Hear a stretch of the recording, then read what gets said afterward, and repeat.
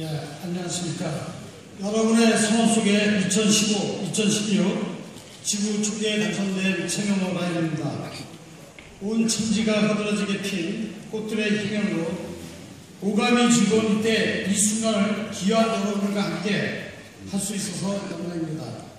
라이언 여러분, 제가 지금 이 자리에서 지도력 교육으로 분주했던 지난 1년간의 시간을 뒤로하고 설렘과 두려움을 동시에 느끼는 것은 여러분께서 저에게 기대하는, 아, 기대하는 지도자의 역할과 막중하게 부여된 책임 때문일 것입니다.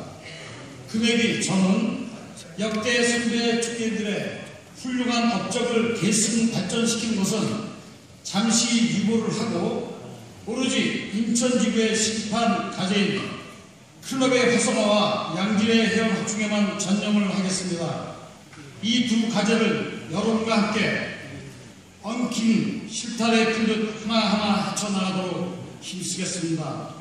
여러분, 저와 함께 소통과 화합의 시즌과 날들이 되어 멋진 인천지구를 한번 만들어 봅시다.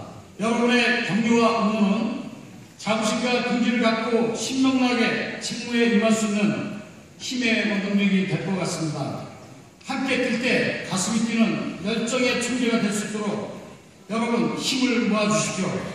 그리고 우리 모두 다 함께 인천지구의 전통과 역연을 빛내는 아름다운 기념을 했으면 합니다. 끝으로 이 자리에 참석하신 모든 분들의 건승을 기원합니다. 감사합니다.